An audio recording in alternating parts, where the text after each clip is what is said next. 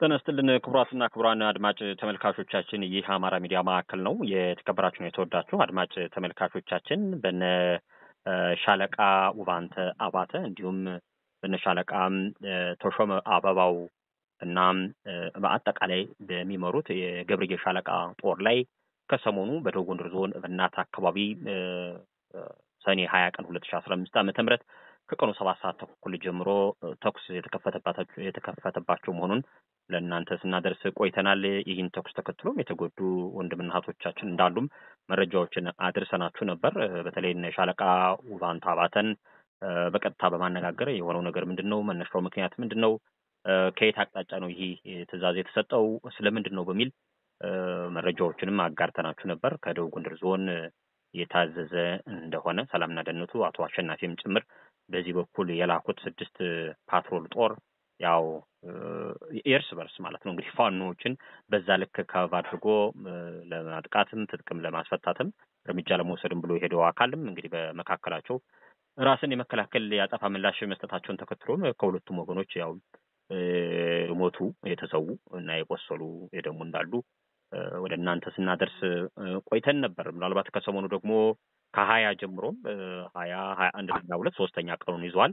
ሶስተኛ ቀኑ ላይ ሰኔ ሀያ ሁለት ቀን ሁለት ሺ አስራ አምስት ዓመተ ምህረት ችግሮቹን በተቻለ መጠን ለመፍታት መቻሉን የሚያሳዩ መረጃዎች ደርሰውናል። አድማጭ ተመልካቾቻችን መንገዱም ስለመከፈቱ ነው የደረሰ መረጃ የሚያመለክተው። ምናልባት በዚህ ውስጥ ደግሞ ትልቅ አስተዋጽኦና አበርክቶ የነበራቸው ወንድምና እህቶቻችን አሉ፣ የሃይማኖት አባቶች አሉ፣ የሀገር ሽማግሌዎች አሉ። ለምንድን ነው ይህ የሚሆነው በማለት መቼ ነው የምንማረው? ይሄ የአማራ ህዝብ እንደ ህዝብ የገጠመውን የህልውና አደጋ አንገነዘቡም። መቼ ነው ስንት ዓመት ይጨመረን ይሄን ለመገንዘብ? ዛሬ ላይ የአማራ ህዝብ የት መቆሚያ መቀመጫ አጥቶ በየአቅጣጫው ሀገር አልባ ተደርጎ በገነባት በሰራት ሀገሩ ከሌሎች ኢትዮጵያውያን ወገኖቹ ጋር ሆኖ በአቆማት ሀገሩ ላይ እንደዚህ አይነት ባይተዋር ሆኖ የበይ ተመልካች ሆኖ በየአቅጣጫው ሲፈናቀል በሚሊዮን የሚቆጠረው ሲፈናቀል በጅምላ ሲፈጅና ሲጨፈጨፍ ሲሳደድ እየዋለ እነዚህ አካላት ለማን ሲቆሙ ስለቆሙ ነው በዚህ ልክ እየተገዳደሉ አንዱ አንዱን እያፈነ የሚሄደው የሚል ጥያቄዎች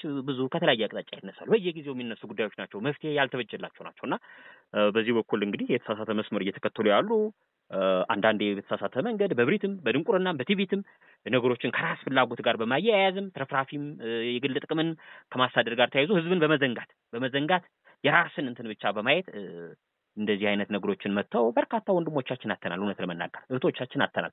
በተለያዩ ጊዜያት ያጣናቸው ጀግኖቻችን ዘወር ብለን መለስ ብለን ብንቆጥር ወደ ኋላ ጸጸት ነው የሚመጣው። ጸጸት ነው እና ሁሌ በዚህ መንገድ እስከ የት ነው የምንቀጥለው? ለማንስ ይጠቅማል? ማንን እየጠቀመ ነው? ለማን ነው እየታገልን ያለ የሚለው ጥያቄ ሊመለስ የሚገባው ነው። እንግዲህ ህዝብ ነው በዋናነት ዳኛው እና ከሰሞኑ የነበረውን ሂደት በምን አግባብ መቋጨት ተቻለ የሚለውን ነገር እያነሳን አጠር ያለ ቆይታ ልናደርግ ነው ከ ሻለቃ ውባንተ አባተ ጋር በቀጥታ የስልክ መስመራችን ተገናኝተናል። ጤና ይስጥልን። እንደምን አለ ሻለቃ ውባንተ? ደህና ነኝ አባይ፣ እግዚአብሔር ይመስገን። አንተ ሰላም ነህ? ደህና ነህ? ደህና ነኝ፣ ደህና ነኝ። በጣም አመሰግናለሁ ፈቃደኛ ስለሆንክ። እንዲሁም ከሰሞኑም አንዴም ሁለቴም ለማግኘት ሞክሬ ነበር። አሁን ደግሞ ያው ችግሮቹን በእናንተ በኩል ያለውን በእናትና በዙሪያ ያለውን ሁኔታ ማርገብ እንደተቻለና መስመሩ ክፍት ስለመደረጉ እየሰማን ያለ ነው። ይሁን እንጂ ደግሞ ከእናንተ ጋር ደግሞ እናንተን ወንድሞቻችን ናቸው እንቀበል በሚል ነው። ለሌላ ጦርነት እና ለሌላ ጉዳይ አይደለም። ይህን ለማድረግ የመጡ ከጎንደር የመጡ የምኒልክ ብርጌድ ፋኖ አመራርና አባላት ላይም እንዲሁም መንገድ ላይ ወደ አርባያ መገንጠያ ከሀያ ኪሎ ሜትር ርቀት ነው ያሉት። እርግጠኛ አይደለሁም ከማክሰኝት እዛ አካባቢ ላይ ይሄ ችግር ተከሰተ ተባለ። በዛም እንደገና የሰው ሕይወት መጥፋቱን ወደ ሁለት ፋኖች ሞታቸውና በከባድ የቆሰለን ስለመኖሩም ለማወቅ ችለናል። መሀል ላይ ደፈጣ አድርጎ የቆየ መከላከያ ነው የተባለው። እንግዲህ የተኩስ ልውውጥ ነው። በዚህኛውም በኩልም በደንብ መረጃ የጠራ ባይኖረኝም የተጎዳ ይኖራል የሚል ነገር ነው ያለው። በእናንተ በኩል የተደረገው እንቅስቃሴ ከሀያ ጀምሮ እስካሁን ድረስ ያለውን ነገር በምን አግባብ ፈታችሁት? ችግሮች እንዴት ማርገብ ተቻለ? ምናልባት በመሀል ላይ አንዳንድ የመካረር ነገሮች ነበሩ። የለም በዛኛው በጉር መንገድ ነው የምንሄደው፣ የለም ያው መጠፋፋቱን የሚሻለን፣ የለም እከሌን ካልገደልኩ ምንም እኔ እንትን አልኖርም አይነት ነገር መንፈስ ያለው ነገር የመካረር ነገሮች ነበሩ እና እናንተ ደግሞ እዛው አካባቢያችሁ ናችሁ፣ ሰፈራችሁ ነው። ወላጆቻችሁን፣ ቤተሰቦቻችሁን፣ እህቶቻችሁን፣ ወንድሞቻችሁን የምታከብሩትን ደብርም በዛው ተሳልማችሁ ልጆቻችሁንም አግኝታችሁ ተነጋግራችሁ የተፈናነፈ ለመመለስ የመጣችሁት ሌላ የተለየ ነገር የለም እና በዚህ በኩል ያሉ ችግሮች እንዴት ተፈቱ? አመሰግናለሁ። ጥሩ ወንድሜ አበይ ነገሮች ተፈተዋል ሙሉ በሙሉ ማለት አንችልም። ያው አንተም ዘከው ከሀያ ጀምሮ ትናንት በቀደም እንዳወራ ነው እኛ ቤተሰቦቻችን እዛ አካባቢ ናቸው። ተወልደን ያደግን እዛው አካባቢ ነው። ቤተሰብ ለመጠየቅ ከጓዶቻችን ጋር ለመምከር ነው የነበረን እንቅስቃሴ። በቀደም አደረሰኝ ቃለ መጠይቅ አስረዳ ያለውን ነገር አስረድቻለሁ። ከዛ ጋር ተያይዞ ተፈጥሮ የሰነበተው ችግር ከባድ ነው የነበረ፣ ፈታኝም የነበረ ችግር ነው የነበረ። እኛ አንድ የከበደንና የተቸገርነው ነገር ምንድን ነው የነበረ መሰለ ወንድሜ፣ ከህዝብ ነው የወጣነ እንደ ቅድም ስናወራ እንደነበረው አካባቢያችን ነው ቦታው ተወልደን ያደግንበት ነው። እዛ ቦታ ላይ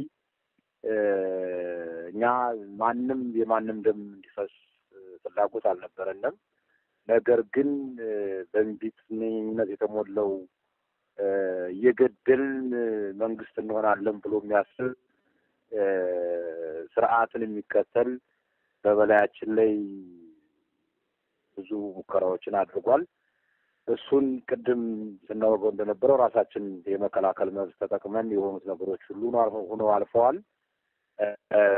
ለዛሬ አንጻራዊ የሆነ ሰላም እንዲመጣ እስከ ትናንትና እንደው ባልሳሳት እስከ ዘጠኝ እስከ አስር ሰዓት ድረስ የዞን አመራሮችም በተዋረድ ያለው አመራርም በእንቢተኝነት እንደተሞላ መጠፋፋትን ምርጫ እንዳደረገ በዋነኛነት ባለቤት የሌለው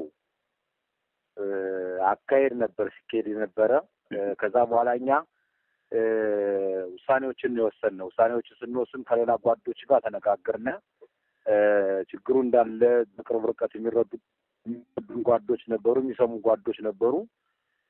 እነሱ ገስግሰው ወደ ቦታው መጡ። መጀመሪያ ላይም ጥናት አጥንተው ችግሩን ሲፈጥሩብን የያዝኩት የሰው ኃይል አናሳ በመሆኑ ያንን እነዚህን መደምሰስ እንችላለን በሚል confidence ነው መጥተው የነበረ። ከዛ በኋላ ግን ትናንትና ከዘጠኝ ሰዓት ጀምሮ የተለያዩ አካባቢ በተለያየ አደረጃጀትም የእኛ ሰራዊትም ወደ እብናት አካባቢ እንቅስቃሴ ሲያደርግ እኛም በመንግስት በኩል ያለውን ኃይል ስንል ኃይል እየጨመረ ኃይል እያስጠጋ መሆኑን ስናውቅ እኛም ጥሪያችን ወደ ህዝብ ወደ ጓዶቻችን አረግነ። በየቦታው ያለው ጓድ ወደ ብናት አካባቢ እንቅስቃሴ ማድረግ ሲጀምር መደራደር የሚመስል መስማማት የሚመስል አይነት አቅጣጫ ማውራት ጀመሩ። እኛ ደግሞ በዚህ ልክ መግባባት የምንችል ከሆነ ልንነጋገር ይገባናል። የደም መፋሰሱ ለእናንተም ለእኛም አይበጅም። አንዳንድ ሰዎች አልፎ አልፎ የሚደውሉለት ሰዎች ነበሩ። እነሱ ጋር ስንነጋገር እኛ ትናንትናም ወደን አላደረግነውም። ራስን የመከላከል አደጋን ነው ቆንጥል ያለ። አሁንም ቢሆን እኛ ከመገዳደል የምናተርፈው ነገር የለም። ነገር ግን የዞኑ መንግስት ብሎም የክልሉ መንግስትን ጭምርት በዚህ መልክ እናጠፋቸዋለን ብሎ ውሳኔ ላይ ወስኖ ከሆነ ዝም ብለን አንጠፋም፣ እኛም ያቅማችን እንሞክራለን የሚል ድምዳሜ ላይ ደረስነ። እዛ በኋላ እንዳልኩ ጓዶችን ማስጠጋት ጀመርነ። እነዚህ የሆኑ ባሉበት ሰዓት ላይ መልሰው ምን የሚል ነገር ነው ይገርመሃል። አንዳንድ ጊዜ ክልሉ መንግስት አልባ መሪነት የሌለው ዝም ብሎ በደመነፍስ አይነት አካሄድ የተልእኮ ተሸካሚ መሆናቸውን በተግባር ያሳየ ምን የሚል መልስ መሰለህ? በስልክ ነው ቀጥታ ወደ እኔም ጋር ይደውሉ፣ በሌላ ጓዶች የሚደውሉትኝ መንገዱን ክፍት አድርገንላቸዋል፣ ይውጡልን፣ አካባቢውን ይልቀቁልን የሚል መልእክት መላክ ጀመሩ። እኛ ደግሞ ጥያቄዎች አሉን። አንደኛ ከዚህ ብናት አካባቢ ላይ እኛን አፈና አድርገው ያን ያክል ጦርነት ሲከፈት እዛው አካባቢ ያሉ ጓዶቻችንም እዛው አካባቢ ያለው የአማራ ተቆርቋሪም ሴረው የገባው እኛ ጋር አብሮ ወደ ጫካ የወጣ ኃይል አለ። ይሄ ኃይል ወደ ብናት ከተማ ወደ ወደ ወደ ቤቱ ወደ መንደሩ መመለስ አለበት። ሲመለስ ከዚህ ኃይል ላይ እርምጃ ላለመውሰዳቸው ያክል አስተማማኝ የሆነ ነገር አለ። ሁለተኛ ነገር ዝም ብላችሁ ሂዱ ማለት ምን ማለት ነው የሚል ጠንከር ያለ ጥያቄ ጠየቅን። ሽማግሌዎች ቅድም አንተም ስታነሳው እንደነበረው መቼም ሀገር የቆመች አሁን በመንግስት ሳይሆን በአባቶች በሽማግሌ ነው ሀገር ቁማ ያለች። ሽማግሌዎች መሀል ላይ ገብተው ነገሩን ለማርገብ እንቅስቃሴ እያደረጉ ነው የነበር፣ እየደከሙ ነው የነበረ። ነገር ግን እነሱን እንኳ በወጉ ይህ ነው ብለው አብራርተው ነገሩን ባለቤት ሁኖ እኔ ነኝ ይህን የሚያደረግኩ ወረዳውን የምመረው ወይም ዞኑን የምመረው እኔ ነኝ፣ በዚህ መልክ ነገሩ ይለቅ የሚል አቅጣጫ ያስቀመጡት አልነበረም። በትግል አጋሮቻችን ደውለው መስመር አስከፍተንላቸዋል ይውጡ አሉ። አይ እኛ እንደ ሰራዊት ማታ እንደዛ መልእክት የደረሰን እኛ በጨለማ ጉዞ አናረግም፣ በጨለማ እንቅስቃሴ አናረግም። የራሳችን መያዝ ያለብንን ቦታዎች ይዘናል። ሲነጋ እንደዋወል የሚል መልእክት አስተላለፍነ። ሲነጋ ተደዋወልን። አሁንም ወደ እኛ ጋር ከመምጣት ይልቅ ሽማግሎች መሀል ላይ ሆነው እኛም ጠበቅ ያለ ጥያቄ ጠየቅናቸው። አባይ በየቦታው የሚገርም ነገር ከዛሬ ሶስት ሳምንት አራት ሳምንት አንድ ወር አካባቢ ላይ ሻለቃ መሳፍንት ተስፉ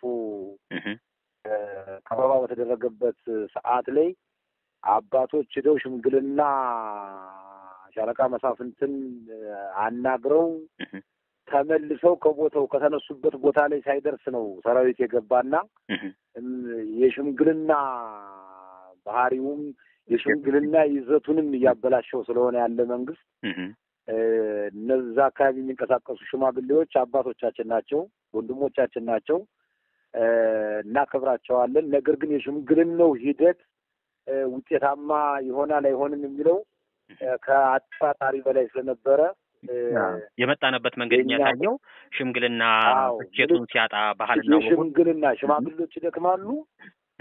ነገር ግን የሽምግልናውን ሂደት በመጠቀም መንግስት የሚፈልገውን ግድያ ይፈጽማል፣ የሚፈልገውን በቁጥጥር ውስጥ እንዲያውል ያደርጋል።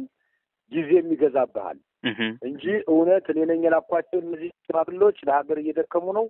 እነዚህ ሽማግሌዎች ይዘው የሚመጡትን ሀሳብ ተቀብዬ ሀሳቡን ልረዳ ብሎ የሚያዳምጥበት ሁኔታዎች የሉም። ከዚህ አንጻር እኛ በሽማግሌዎች ለእኛ እየደከሙ እንደሆነ እንደምናከብራቸው ለእኛ ብለው እየደከሙ እንደሆነ እንረዳለን። ነገር ግን የሽምግልና ሂደቱን ተቀብሎ የጸጥታው ኃይል መንግስት ተብዬው ተግባራዊ እያደረገዋል አያደረገውም የሚለው ስጋት ውስጥ ከቶ ስለነበረ የራሳችን ውይይት ነው ያደረግነ። የራሳችን ውይይት ስናደርግ ከጎንደር የጎንደር ፋኖ እንቅስቃሴ ያደርግ ነበር ወደ እኛ ጋር ሌሊት ነው እንቅስቃሴ እንዲያደርግ የተነጋገርነ። ሌሊት ነው እንቅስቃሴ ያደረገው ቅን አልነበራቸውም። ወደ ብናት አካባቢ ላይ እንደደረሰ ሲያውቁ በጣም እጅግ በጣም ከማወራህ በላይ ድንጋጤ የተሞላበት በተደጋጋሚ ስልክ በመደወል ከአካባቢው እንድንወጣ እኛ እናንተን አንፈልግም፣ በቃ ጥፋቱ ጠፍቷል ምናምን የሚል ከመሪም አንድ ሀገር ከሚያስተዳድርም አመራር የምንጠብቃቸው ሀሳቦች አልነበሩም። ነገር ግን ህዝብም እንዲያውቀው የምንፈልገው ነገር መንግስት በአንድም በሌላ መንገድ አሁን ያለው ስርዓት ከቻለ ማጥፋት። ያ ሳይሳካ ሲቀር እንደዚህ አይነት አጋጣሚዎችን መጠቀም። የሽምግልና በሚመስል መልኩ መጠቀም። እኛ ኃይላችን አቅም ህዝባችንም ከተደራጀ ህዝባችንም አንድነት ከኖረው አስፈሪ የሆነ መብትን ታስከብራለህ። እኛ just እንደዛ ነው ያደረግነው፣ መብታችንን ያስከበርነ እንጂ እነሱ ጥፋቱን ገምግመው ሂደቱን አይተው የእርስ በርስ መጠፋፋቱ ይጠቅማል አይጠቅምም የሚለውን አይደለም እይታቸው። ካለነው ውስጥ በስም እየጠሩ እነከሌ ካልተገደሉ እነከሌ ካልተመቱ ነው እንጂ የተፈጠረው ነገር ተፈጥሯል፣ እንዴት እናስተካክለው የሚል እሳቢም አልነበራቸውም። የእኛ ኃይል እዛ አካባቢ ላይ መጠናከር ግን ከተማዋን ሊመቷት ነው፣ ከተማዋን ሌላ ነገር ሊያደርጓት ነው የሚል ፍራቻ የተሞላበት ከተማውን ለቆ የመውጣት አይነት ነገር ነበረ በአመራሩ በኩል። እኛና እኔና የእኛ ሰራዊት ደግሞ ከተማኛ የተደራጀነ ለአማራ ሕዝብ ደጀን ልንሆን እንጂ ሕዝባችን ልናጎሳቁል የራሳችን ከተማ ልንደበድብ አልተደራጀንም። ምክንያቱም እዚህ ውስጥ እናቶቻችን አሉ፣ ልጆቻችን አሉ፣ ሀብት ንብረታችን አለ። በውይይት የሚፈታ ከሆነ ይፍታ፣ የማይፈታ ከሆነ የራሳችን የትግል system እንከተላለን በሚለው አቋም ላይ ቆምን። አባቶች መጡ፣ ካህናቶችም አሉ፣ የአገባብሎችም አሉ፣ እህት እናቶችም አሉ። እነሱ ጋር ሽምግልና የሚመስል አጀንዳ ዘው ነበር የመጡ። እኛ በሱ አልተስማማንም። እኛ ሽምግልና አንሸማገልም። ማንሸማገልበት ትልቁ ምክንያት የሽምግልና ውጤቱ እነ አርበኛ ዘመነ ካሴ በሽምግልና ምክንያት የሆኑት እናውቃለን። ጎንደር ላይ ከዚህ በፊት የነበሩት ታጋዮች በሽምግልና ምክንያት የደረሰባቸውን ነገር እናውቃለን። የአማራ ሕዝብ እንዳይን ብሌኑ የሚያየው ሻለቃ መሳፍንት ተስፉን በሽምግልና ምክንያት ምን እንዳደረጉ እናውቃለን። እና እኛ ሽምግልና አንሸማገልም። ነገር ግን እኛ ከእኛ ጋር ያለ ጓድ ወደ ከተማው እንዲገባ ወደ ቤተሰቡ ወደ ቤቱ እንዲገባ ሲገባ ትንኮሳ የሚያደርጉበት ከሆነ አሁንም ምላጭ እንስባለን። እኛም ወደ ሀገራችን ስንሄድ ኬላ ላይም ሆነ የሆነ ቦታ ላይ ተፈጣጥለው የሚሆን በሆነ አጋጣሚ ትንኮሳ እናደርጋለን የሚል ኃይል ካለ እኛም ጋር እሳት አለ። ይህንን ንገሩልን በሚል ተነጋገርነ። ሌላ ወደ ሽምግልና ዘይቤ አልገባንም። በዚህ ተነጋገርነ። ወደዛው አካባቢ ያሉ ተወላጆች ገቡኝ። ወዚያው አካባቢ እያለነ አበይ በጣም የሚያሳዝንና የምታስብበት ጦርነት በተደረገበት ቀን ተሽከርካሪ ነበረ እና አጋጣሚ የግል ንብረቴ ነው። ተሽከርካሪ ነበረኝ። ተሽከርካሪ ይዣለሁ። ጦርነቱ ከተካሄደ በኋላ እኛ መኪናውን ለእኛ ለመሰለ ሰው ሰጠን። እኛን ከመሰለ ቦታ ላይ አስቀምጠን ሹፌር ቁልፎ እኛ እጅ ላይ ነው ያለ። ቁልፎ እኛ እጅ ላይ ተቀምጦ ግን የእነሱ የጸጥታ ኃይል መኪናውን ከቆመበት ሆቴል ሂዶ አይቶ እንደማረኩት አድርገው ያስወራሉ። ቁልፎ እኛ እጅ ላይ እያለ እና መኪናችንም አስወጧለ።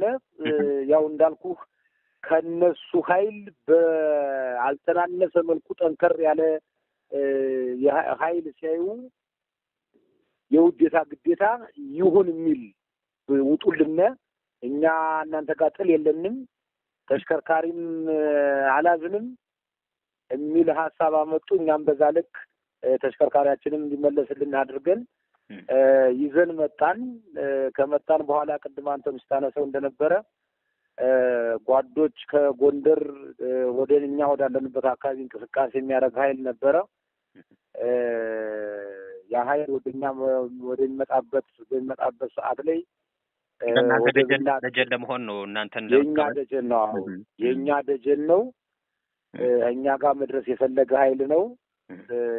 መንገድ ላይ እዚህ ማክሰኝት መገንጠያ ወደ በለሳ መገንጠያ ላይ እንግዲህ ባለኝ መረጃ ከመከላከያ ሰራዊት ጋር የተኩስ ልውውጥ ተደርጓል ነው የሚባል። ሁለት ጓዶች ተሰውተውብናል። የቆሰሉ ጓዶችም እንዳሉ ነው ያለኝ መረጃ። አሁን ከመሸም ስለሆነ እኛም የገባነ ሁለት ጓዶች ተሰውተውብናል። የቆሰሉ ኃይልም እንዳለ እናንተ ከመድረሳችሁ በፊት ነው ወደ ጎንደር እኛ ከመድረሳችን በፊት ነው እኛ ከመድረሳችን በፊት ነው ጉዳዩ የተፈጸመ።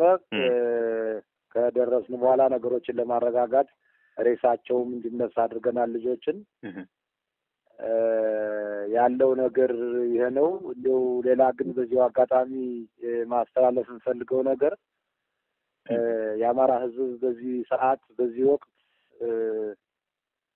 ህልውን የመኖር ያለ መኖር የህልውና አደጋ ተጋርጦበት ነው ያለ። በየቦታው በትናንት በቀደም በወለጋ በመተከል ነበር የአማራ ህዝብ ሲያልቅ የነበረ። አሁን ግን ከየ አንኳኩቶ አማራ ክልል ከየቤታችን ድረስ መጥቶ ብዙ ጉዳቶችን ብዙ አማራ ነኝ ካልክ ለምን አማራ ነኝ አልክ በሚል እንድትጠፋ ተፈርዶበት እንዲጠፋ ተፈርዶበት ያለ ህዝብ ነውና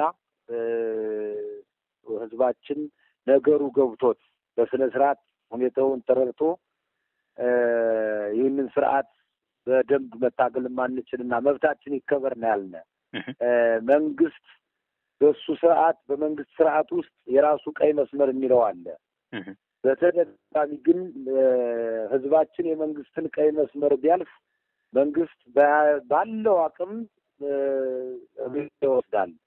በተደጋጋሚ ግን አሁን ላይ እየሆነ ያለው ነገር በአማራ ህዝብ ላይ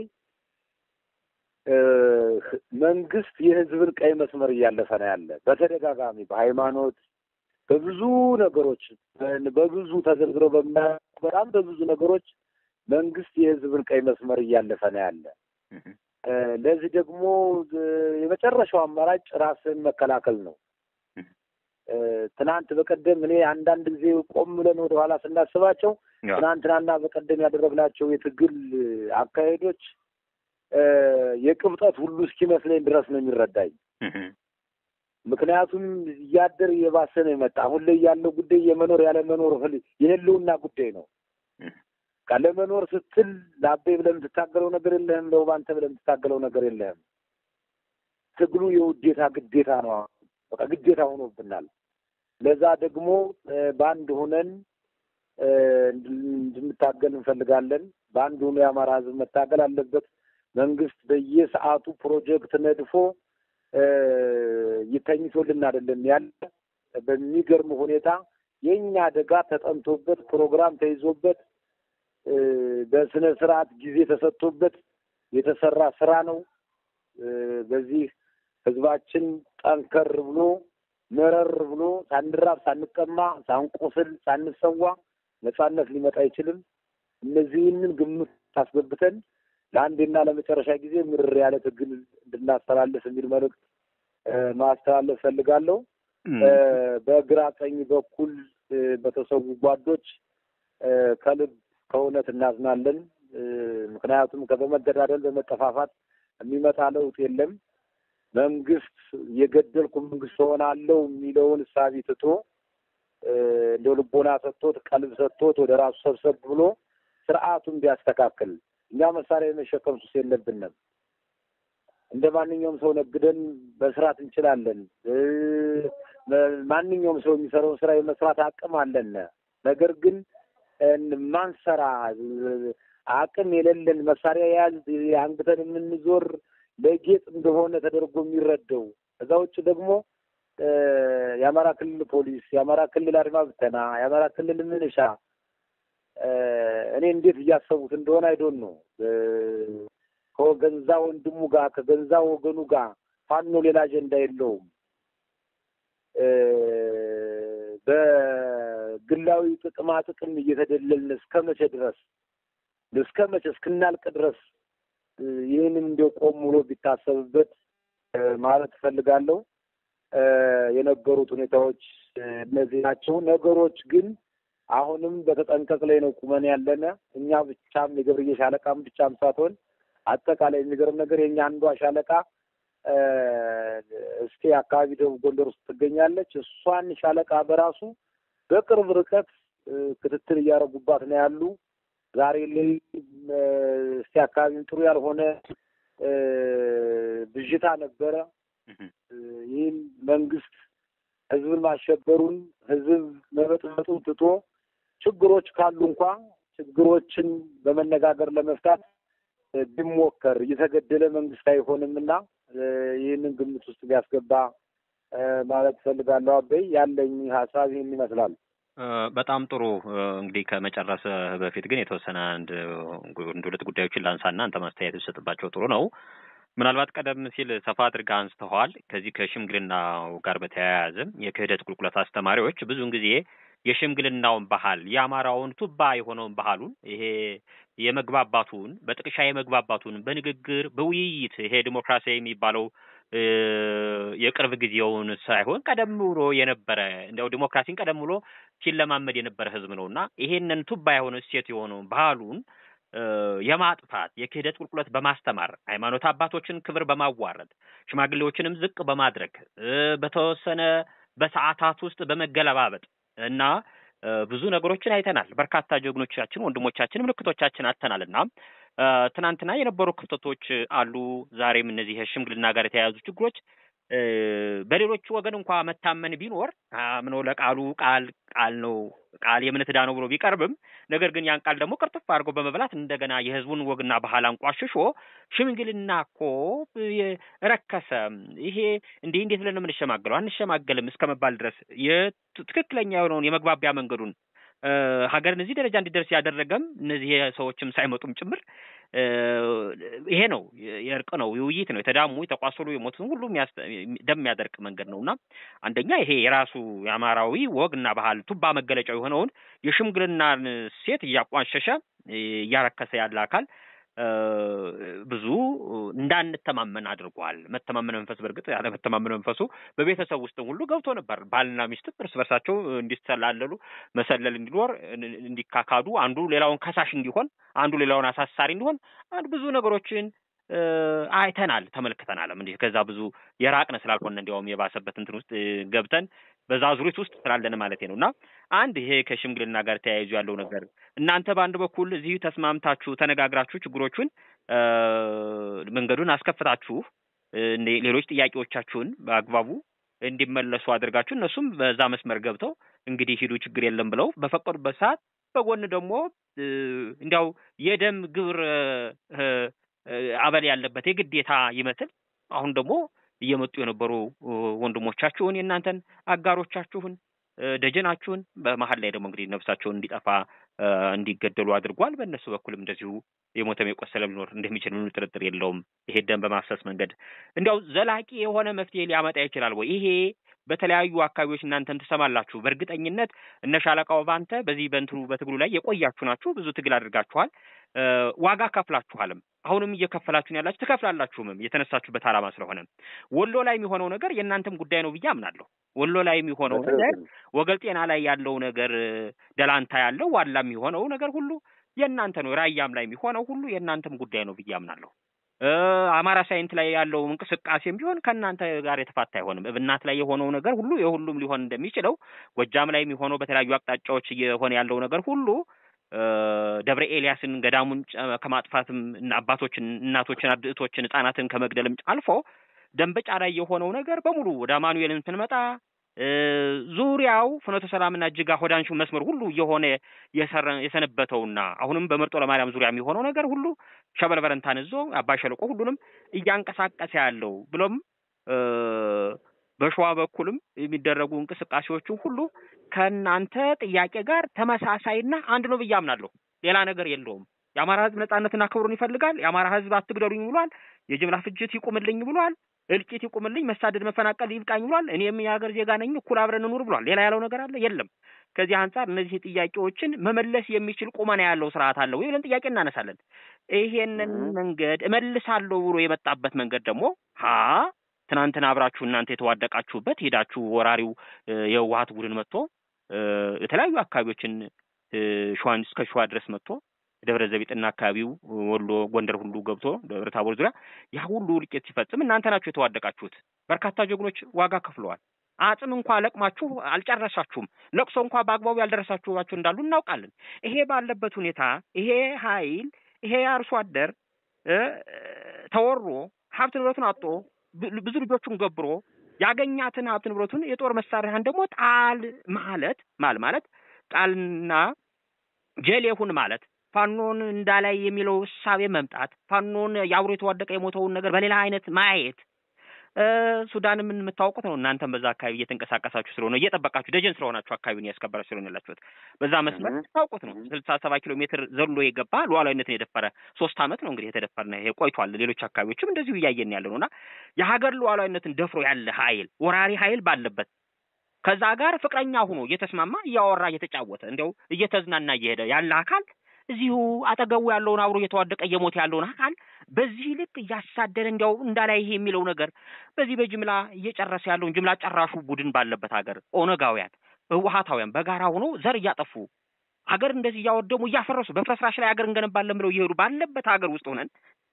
እንዲያው የጋራ ሀገር ይኖረን፣ እንተባበር፣ አንድ እንዲሆን፣ የጅምላ ፍጅት ይቁም፣ አንዱ አንዱን እያጠፋ የዘር እያጠፋ መቀጠል የለበትም፣ ተውን እባካችሁ ተውን ብሎ እየለመነ እየተማጸነ ያለን አካል መዳረሻዬ ኢትዮጵያ ናት፣ የአማራ ሕዝብ ላይ እየተፈጸመ ያለውን ተከታታይ የሆነ ቋሚ የሆነውን የዘር ፍጅት ግን እንዲቆም አደርጋለሁ የሚለውን የቡድን መሳሪያ አምጣ፣ ጥቁር ክላሽ አምጣ፣ እንዲህ ነህ፣ ተቀመጥ፣ ተነሳ እያለ በየቅጣጫው እየሄደ የሚፈጽመውን ነውረኛ የብሪትና የድንቁርና የትዕቢት አካሄድን የእናንተ አደረጃጀት እንዲያው እስከ ሄድ ድረስ ነው ሊታገለው የሚገባው። በተለያዩ ጊዜ የሚደረጉ እርቅና ስምምነቶች የሆነ ቦታ ላይ ሄደው ሸብረክ ይላሉ። አሁን እንኳን እናንተ እያወራችሁ ባላችሁበት ሁኔታ ወንድሞቻችሁን ሲመጡ መቷቸው፣ ገደሏቸው። ከዛውም ወንድም ነው እነሱም ሞቱ። ይሄ ሆነ። ግን እንዲያው ዘላቂ የሆነ ከአማራ ህዝብ ጥያቄ አንጻር የአማራ ህዝብ ከተነሳበት ጥያቄ አንጻር እያነሳቸው ያሉ የማንነት የወሰን ጥያቄዎች በዚህም በዚህም ሁሉም ጣቱን ቀስሮ ጦር መሳሪያውን ይዞ ቡድን መሳሪያውን ታጥቆ የሚመጣው ሊያጠፋው የሚችለው አማራውን ነው። አቅዶ እየሰራ ስለሆነ በየአቅጣጫው ያለው ነገር የተከበበ ተከበናል ተብሏል አይደለም። ከዚህ አንጻር ምልክቶቻችን እያጣን ነው። ምልክቶቻችን እያጣን ነው። እነ ብርጋዴር ጀነራል አሳምነው ጽጌንም እናንተም እነ ዶክተር አምባቸውን መኮንንን ጉዳይም ፕላስ የነ ሻለቃ አስቻለው ደሴንም ጉዳይም በየተለያዩ ነዋዋጎ መልኬንም በየአቅጣጫው የሚገደሉ የሚሳደዱ ወንድምና እህቶቻችን ጉዳይ መቆም አለበት የሚል አረዳድና አስተሳሰብ አሁን አሁን እየመጣ ይመስለኛል። ለጀግኖቹ ጥብቅና የመቆም no አሳልፌ አልሰጥም፣ ለምን ትገልብኛለህ የሚል አይነት ባለፈው ብዙ ያጣናቸው ሊያመን ሊቆጨን ይገባል። አይበቃም ወይ የሚለው ስሜት ያለ ይመስለኛል። እና አንተ እንዲያው ይሄን እንዴት ትገመግመዋለህ? plus ደግሞ ዘላቂነት ነው የሚባለው መቼም ለውጥ ነው የሚባለው ለውጥ ባለመስዋዕትነት እንደማይገኝ ቅድም አንተ ተናግረዋል እና የህይወት ነው እየተገበረ ያለው በየአቅጣጫው የሞተው ህይወት ነው። አንድ ሺህ ጊዜ እኔ ከዚህ ስርዓት ጋር ልታረቅና ልስማማ እችል ይሆናል። አፈቀርኩ ወደቅኩ ልልለውም እችል ይሆናል። ግን የኔ ማፍቀርና መወዳጀት ከዚህ ስርዓት ጋር የአማራን ህዝብ ያድነዋል ወይ ብዬ ጥያቄ አነሳለሁ። ኢትዮጵያን ያድነዋል ወይ ጥያቄ አነሳለሁ። በተሳሳተ መንገድ በእርጉም መንገድ እየሄደ ያለ የደም አፍሳሽነት መንገዱ እዛ ይመለስ ሲሆን በጸሎትም እንዲያው በአፈሙዝም በብዙ እየተሞከረ በሰላማዊ ትግልም በምኑ እየተሞከረ ከረም። አሁን ደግሞ በዛኛው በውር ድንብሱ መንገድ ወደ ገደል በሚወስደው መንገድ እየሄደ ነው ያለ። ይሄ ጸረ አማራ የሆነ ጸረ ኢትዮጵያ የሆነ አቋም ነው ብለው የሚታገሉ ወንድምና እህቶች ከያቅጣጫው አሉ። እነዚህ ወደ አንድ ሰብሰብ ብለው መምጣት የለባቸውም ወይ? ተመሳሳይ ዓላማና ፍላጎት የላቸውም ወይ? ምንድን ነው ነገሩ የሚለውን በዚህ ላይ የመጨረሻ ሀሳብ ብሰጥበት ነው። አመሰግናለሁ። አበዛው።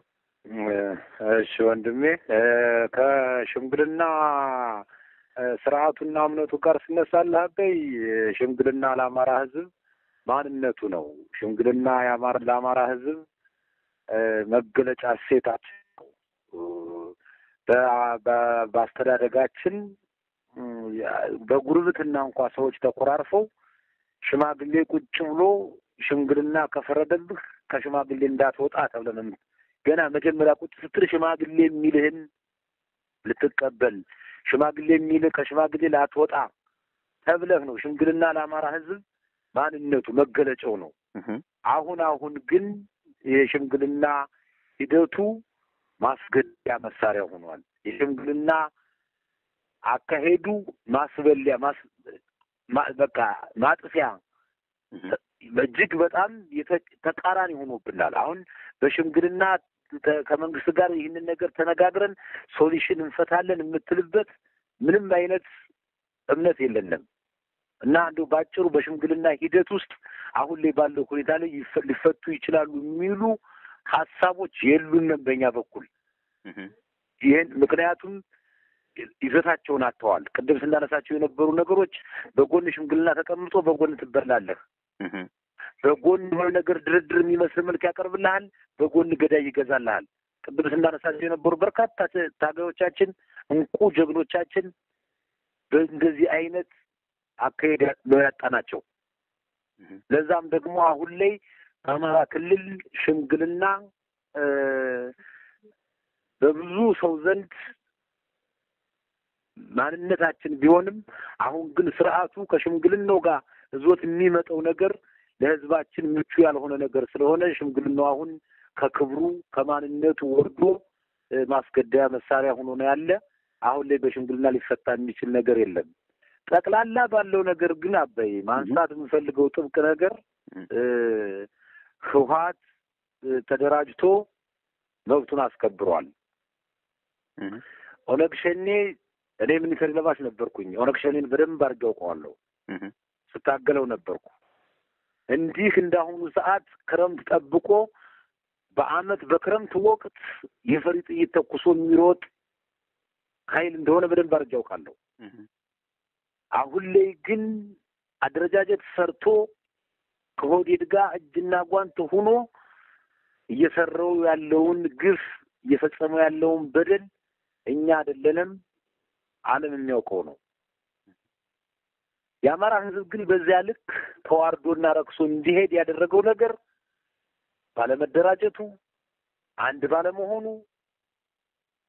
የመጡብን መከራዎች ናቸው።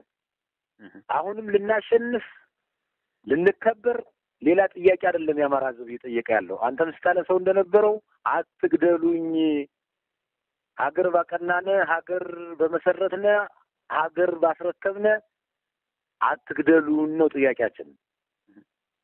የመጣው ስርዓት ደግሞ ስለ ሀገር አይመለከትህም፣ ሀገር መፍረስ አለባት ብሎ እየሰራ ነው ያለ።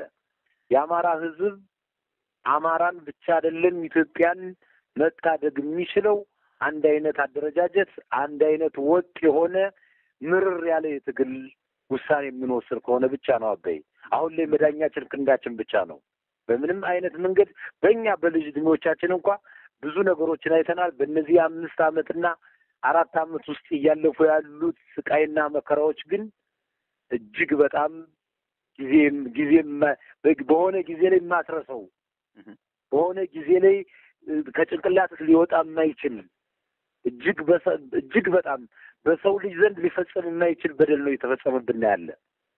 ለዛ ደግሞ ምርር ያለ ትግል መታገል አለብን። መፍትሄው እምቢ ማለታችን ነው። መፍትሄው አይሆንም ማለታችን ነው። ስለ ቡድን መሳሪያዎች ታዝናለህ፣ እጅግ በጣም ታዝናለህ። አንዳንድ ጊዜ አንተ አበይ ደካማ ከሆነ ድክመትህን የሚያውቅ ሰው ሁልጊዜ ያንን ደካማ ጎንህን እየተረዳ ነው የሚኖር።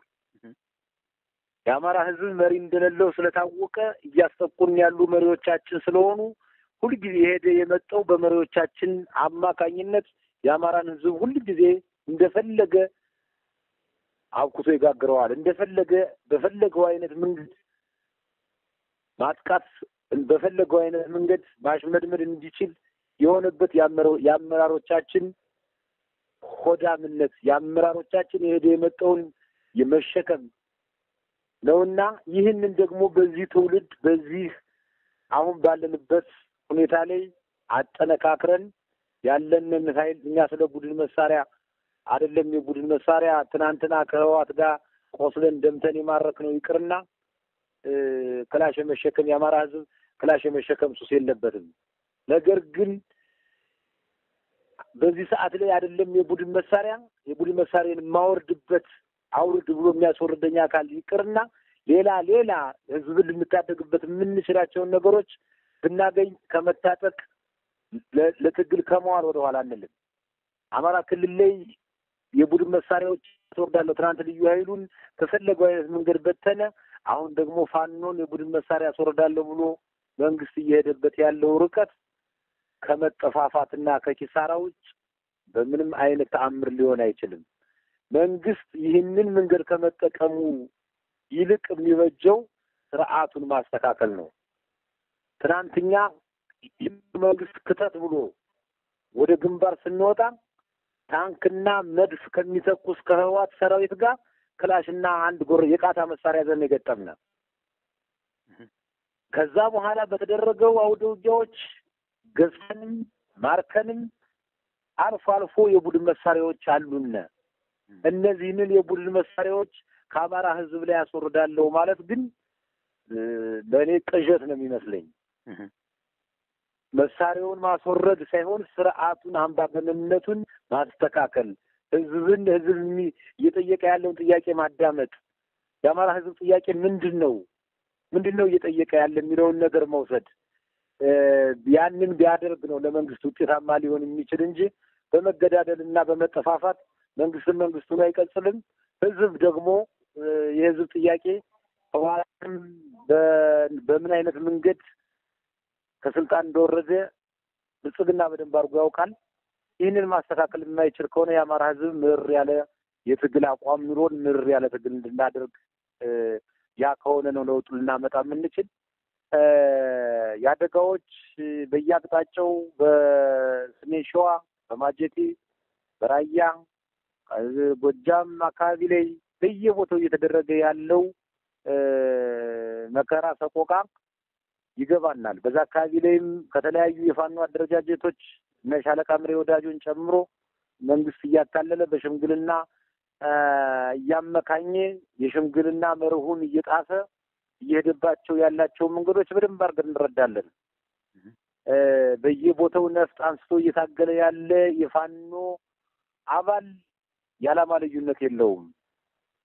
በምንም አይነት መንገድ ከታች እስከ ላይ ድረስ ያለው የዓላማ ልዩነት የለውም። አንድ ሆኖ ለመታገል አንድ አይነት ሀሳብ ዞ ነው ያለ፣ አንድ አይነት ጥያቄ ነው ያለው።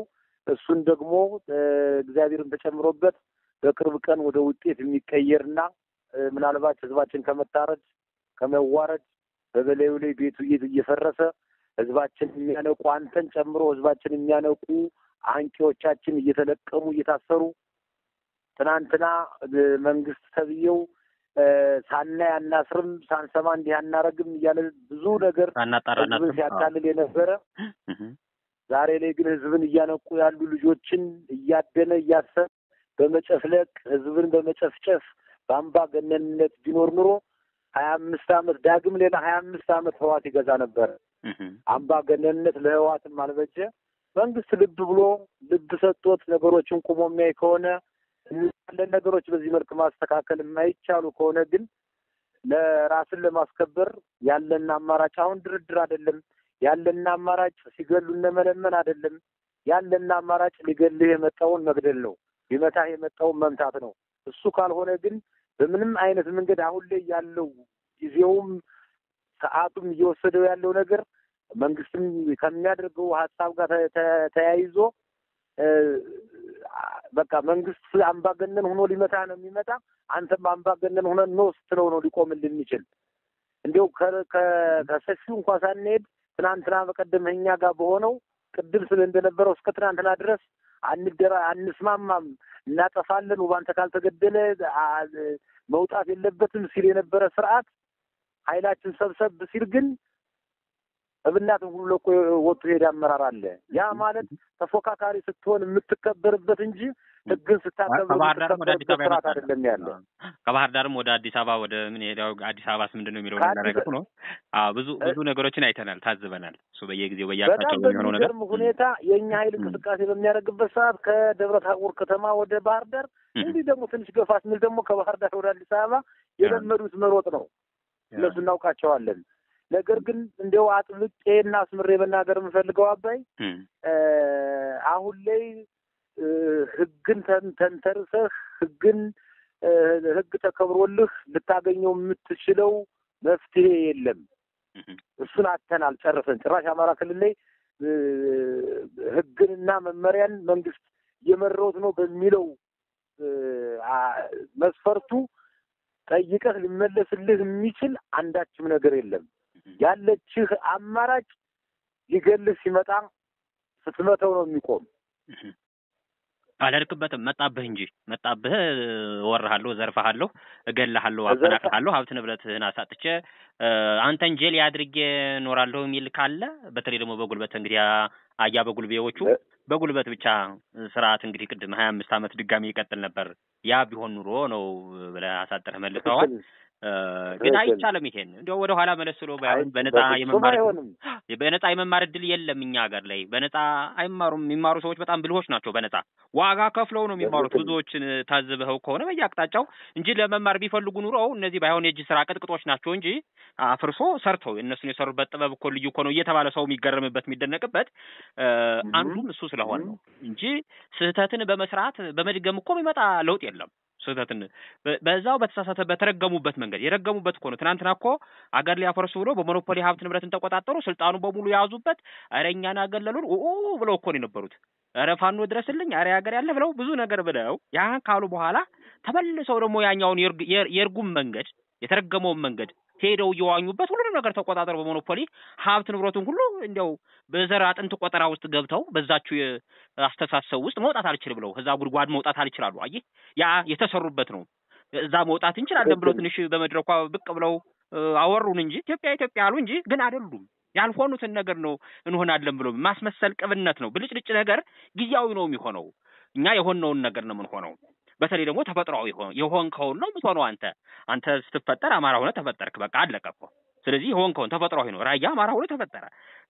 እንሂድ ወልቃይት ጠገዴ ጠለምት አማራ ነኝ አለ። የሆነውን ነገር ነው ነኝ አለ እንጂ እንደገና አዲስ ግዥ ወይም ሌላ እንትን በአገዛዙ ፈቃድና ይሁንታ እንዲህ ላድርግልህ እንደዚህ ምናምን ብትለው ነገር አይደለም። ስለዚህ ሰዎች የሆኑትን ነገር ነው የሚሆኑት። እነዚህ ሰዎች የሆኑትን እውነተኛ ማንነታቸውን እያሳዩን ያሉት ያልሆኑትን ለማስመሰል ብለው በቅብኛ መቼስ የቃላት ካራት ያለች አለት በዛች እኮ ነው እጥፍጥፍ ብለው መጡ እና እሱ ነው የሆነው የገጠመው የአማራ ሕዝብ ብሎም እንደ ኢትዮጵያ ጠቅልል የተመለከተው ነገር ማለት ነው። መልካም እንዲያው የተረሳ ነገር ካለ እንደ መጨረሻ ትልበልና እንሰናበት። አዎ አበይ ያው ዞሮ ይህንን ነው እኔ ስናነሳቸው የቆያቸው የቆዩትን ነገሮች ነው እንትን የምልልህ። ዞሮ ዞሮ ምርር ያለ ትግል ያስፈልገናል፣ ቁርጠኝነት ያስፈልገናል። ይሄ ጎጃም፣ ጎንደር፣ ሸዋ፣ ወሎ እነሱ የሚሰጡን አጀንዳዎች አሉ። ከእነዚህ አጀንዳዎች ወጥተን ካልታገልን የማንኖርባት ሀገር ናት። እኛ ምን አማራ የሚታገል ከሆነ ኢትዮጵያ እንደ ኢትዮጵያ ትቀጽላለች። አማራ የማይታገል ከሆነ አማራ ብቻ አይደለም ኢትዮጵያ ራሷ ትፈርሳለች። እና ምርር ያለ ቁርጠኝነት ያለው ከማስመሰል ወጥተን እውነታዊ የሆነ ትግል እንድንታገል ለማለት ነው። እጅግ በጣም አድርጌ ነው የማመሰግነው። እኔም በጣም አመሰግናለሁ ሻለቃ ውባንተ አባተም የገብርዬ ሻለቃ መሪ። አድማጭ ተመልካቾቻችን እንግዲህ በተለያዩ ጊዜ እያገኘን አነጋግረን ነበር። አሁን ደግሞ እንዲያው የመጨረሻውስ ይህ ጊዜያዊም ቢሆን እንዲያው በምን አግባብ ነገሩ ተቋጨ የሚለውን ነገር አድማጭ ተመልካቾቻችን የበለጠ ግልጽ የሆነ መረጃ ይኖራቸው ዘንድ እይታህንም ጭምር እንዲያው ለሕዝብን በዚሁ አጋጣሚ መልእክት እንድታስተላልፍ በሚል ነው። በቀጥታ ደግሞ ያው የሚከታተል ሁኔታዎችን የሚከታተል ሕዝብም ወገንም ስላለ ማለት ነው። ይሄን በሚል ነው እንግዲህ የመጨረሻ አሳሪ የሆነውን መልእክትም አስተላልፈሃል። ዋናው ያው የምትመር እንደሆነ ምረር እንደቅል አልመርም ብሎ ነው ዱባ የሚቀቀል እንደተባለው ደራሲ ይስማዕከ ወርቁ በዴርቶ ጋዳ ላይ እንዳስቀመጠው ሁሉ ይሄኛው ማሰሪያ መልእክት ሆኗል። ያልመረረ ያው እንደ ዱባም እየተቀቀል ነው የሚለው ይበቃል ነው ይበቃል ነው። እንግዲህ አንዳንድ ጊዜ እኮ በጣም ሲበዛ እኮ እንትን ይላል። ሁሉም ለሁሉም አንዱ አር የሚባለው መጠን አለው እኮ። ከዛ ያለፈ ነገር ደግሞ ብዙውን ጊዜ እንደው በትዕግስትም ትዕግስትንም እኮ እንደ ሌላም ተቆጠረ በቃ እና ይሄ መጨረሻው ሁሉንም ነገር እያበለሻሸ ስለሚሄድ እዚያ ከዚህ ላይ እንግዲህ ሲበቃል ብሎ ያዝ ጠንከር ብሎ ነጻነት፣ ክብር፣ ማንነት እንዲሁ ዝም ብሎ በነጻ የሚገኝ አይደለም። ዋጋ ተከፍሎበት ነው የሆነውን ነገር የሆነውን ነገር በሌሎች ይሁንታና ፍቃድ ሊመሰረት አይችልም። በቃ ስለዚህ ህዝብ ህዝብ ያነሳውን ጥያቄ ጊዜ ያመጣውን ጥያቄ መልስ መስጠት መቀበል እንጂ እንዲያው በዚህ መፈራገጡ ምን ማለቱ ጦር አዝምተና ግደል እንዲህ ነህ እንዲህ ነህ እያሉ እያስታጠቁ ዩኒፎርም እያስቀየሩ ሌላውን ገዳይ ጥላቻ ያለውን እየላኩ እዛው ላይ ተባላ ማለት እንዲያው ጊዜያዊ ሊሆን ይችል ይሆናል። እንዲያው ዘወር ብሎ ማየት አንገታችን እንትን አለብን እንጂ ያ ነው መከራ የሆነው። እንግዲህ የኢትዮጵያ ህዝብ ይህንን ሁሉ ማለፍ እንደሚችል እናውቃለን። የአማራ ህዝብ ይህን መርገምትም አልፎ ነጻነቱና ክብሩ ማረጋገጥ እንደሚችል ብዙ ማሳያዎች አሉ። አድርጎ አይቶት አለም እና ጊዜው የደረሰ መሆኑን ጊዜውን የዋጀ ትግል እስካደረገ ድረስ መናበብ እስከቻለ ድረስ እስከተቀናጀ ድረስ በአንድም ይሁን በሌላ መንገድ ግፈኞችን ያሸንፋል፣ ግፍን ያሸንፋል፣ ፍትህን ያሰፍናል፣ እኩልነትና ወንድማማችነትን አጠናክሮ ያስቀጥላል የሚል ሙሉ ሙሉ እምነት ነው ያለኝ። ይሄ ጥርጣሬ የለኝም። በዚህ ይህን መስዋዕት አድርገህ ሰፋ ያለ ማብራሪያ ስለሰጠህን በአድማጭ ተመልካቾቻችን በድጋሜ በአማራ ሚዲያ ማዕከል ስም አመሰግናለሁ። ሻለቃ አባተ። እኔም አመሰግናለሁ ወንድሜ አባይ።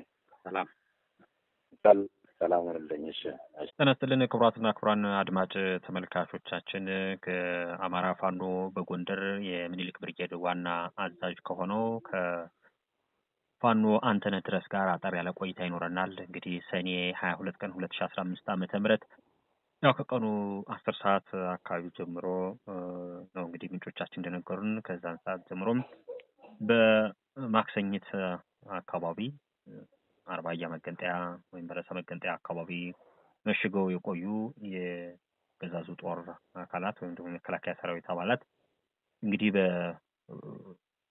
በሻለቃ አንተነህ ድረስ እና እሱ በሚመራው ጦር ላይ ተኩስ በመክፈት ያው የሰዎች ህይወት እንዲጠፋ አድርገዋል። የቆሰሉም እንዳሉ ነው እየሰማን ያለ ነው። እንግዲህ እነ ሻለቃ አንተነህ ድረስ ወደየት እየሄዱ ነበር? የገጠማቸው ነገርስ እንዴት ነው የሚገልጹት ስንል የተሰዉም ታጋዮችንም በተመለከተ አጠር ያለ ማብራሪያ እንዲሰጠን በቀጥታ የስልክ መስመራችን ጋብዘናል። ያው ሁኔታው ይሄን ለማድረግ የሚያስችል ባይሆንም ግን ደግሞ አድማጭ ተመልካቾቻችን ደግሞ ያው የምትከታተሉት ነው እና እዛም እዚህ ምን እየሆነ ነው የሚለውን ነገር ለመገንዘብ ይረዳን ዘንድ እንግዲህ ሀዘን ላይ እያለም ቢሆን ታጋዮችን አጦም ቢሆን በቀጥታ የስልክ መስመር አስገብቸዋለሁ። አጠር ያለ ነገር ይነግረናል። እንድትከታተሉን በአክብሮት ጠይቃለሁ። አባይ ዞን ጤና ያስጥልን። እንደምን አለ ሻለቃ አንተነህ ድረስ? እግዚአብሔር ይመስገን። እንዴት አመሻህ አባይ? ደህና ነኝ፣ ደህና ነኝ። በጣም አመሰግናለሁ ፈቃደኛ ስለሆንክ። እንዲያው በመጀመሪያ የተሰማኝ ሀዘን ጥልቅ ነው። እኔ በበኩሌ እንዲህ አይነት ነገሮችን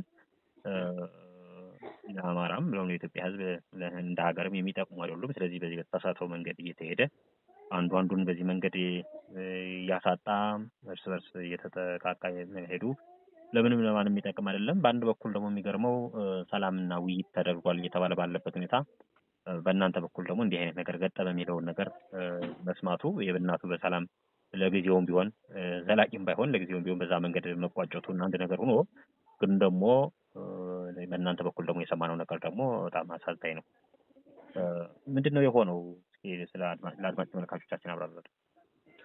እሺ፣ አመሰግናለሁ። እንግዲህ እኛ ከጎንደር ነው የተነሳ ነው የምንሄድበት ዋና ዓላማ ጓደኞቻችን እነሱን ጉዳዩን በሽምግልና አልቋል ሲሉን እነሱን በበለሳ በኩል ስለሚመጡ መንገድ ላይ ለመቀበል ነው ተቀበሉን ስላሉ እነሱን ለመቀበል ነው እየሄድን የነበረው። እንግዲህ በወቅቱ እኛ ከመቶ ሀምሳ አካባቢ እንሆናለን። አራት መኪናዎች ይዘናለኝ። ለጓደኞቻችንም እየደወል ለጸጥታ አካላትም እየደወል ነው እየሄድን የነበረው ማለት ነው እና በቀጥታ ከጎንደር ተነስተን ማክሰኝት ደረስን። ከማክሰኝት ወደ ደጎማ ወደ በለሳ የሚሄደው መስመር ላይ ስንደርስ ደፍጦ የቆየ ኃይል ተኩስ ከፈተብን ማለት ነው። እንግዲህ ይሄ ኃይል ኬላ ነው፣ ግን ኬላው በመከላከያ ነው የሚጠበቀው። ቢያንስ እንኳ እኛ እዛ ስንደርስ እነማን ናችሁ፣ የት እየሄዳችሁ ነው ብለው ቢጠይቁን እኛም ደግሞ እንነግራቸዋለን፣ እንግባባለን። ወይም ደግሞ አስፈቅደናል የሚለውን ነገር ለማን አስፈቀዳችሁ የሚለውን ነገር በስልክ የማገናኘት ነገር ይኖር ነበረ። ግን ያ ሁሉ አልሆነም። በቀጥታ እኛን ሲያዩን ተኩስ ከፈቱ ማለት ነው። እኛም መኪና ላይ ያላችሁ ነው ወይስ አዎ ከመኪና ላይ ያለን ነው። ግን አራት መኪና ነው። ሁለቱ መኪና ወርዷል። ሁለቱ መኪና ደግሞ ገና ነው የነበረው። ተኩስ ከፈቱብን። እኛም በወቅቱ ያው ሌላ ኃይል መስለናቸው ወይ ልናፍናቸው ምናምን መስለናቸው ሊሆን ይችላል። ስለዚህ መልስ ቶሎ መስጠት የለብንም የሚል የተወሰነ ደቂቃዎች ቆየን። ከዛ ውስጥ መኪና ውስጥ ያሉትን ለማስወጣት የግድ ሌላው ቦታ ይዞ ራሱን መከላከል ጀመረ ማለት ነው። እንግዲህ በዚህ መሀል ሌላው ወረደ። ያው ቦታ ይዘን ተከላከልን ማለት ነው። ስለዚህ የሆነው ይሄ ነው። ስንት ሰዓት አካባቢ ነው የጀመረው? ረዥም ሰዓታት ቆየ ወይስ? ዘጠኝ ሰዓት ይሆናል። ዘጠኝ ሰዓት ስምንት ተኩል አካባቢ ይሆናል። ከስምንት ተኩል እስከ አስር ተኩል አካባቢ ቆይቷል። ይሄ የተኩስ ልውውጡ የተኩስ ልውውጡ ምንም መነጋገር አልተቻለም። ጭራሽ ለማናገርም አልፈቀዱም ማለት ነው። እነማን ናችሁ? የት ነው የምትሄዱት? ምንድን ነው የሚል ነገር የቃላት ልውውጥ ጭራሽ ያናገረን ሰው የለም። በቃ ያናገረን ሰው የለም። ቢያናግሩን እንግባባ ነበር። ወይም ደግሞ ካልተግባባንም ቢሆን እኛም ደግሞ የዝግጅት ጊዜ ይኖረን ነበር፣ የመዘጋጀት ጊዜ ይኖረን ነበር። ስለዚህ ቀጥታ ነው የተተኮሰብን ማለት ነው። ስለዚህ በዚህ ሁኔታ ላይ ነው ጓደኞቻችን ያጣናቸው ማለት ነው። ምን ያህል ሰዎች ተጎዱባችሁ? አጠቃላይ በነበረው ሶስት ልጆች ቆስለውብናል። ሶስት ደግሞ መስዋዕትነት ከፍለዋል። ሶስት ልጆች ተሰውተዋል።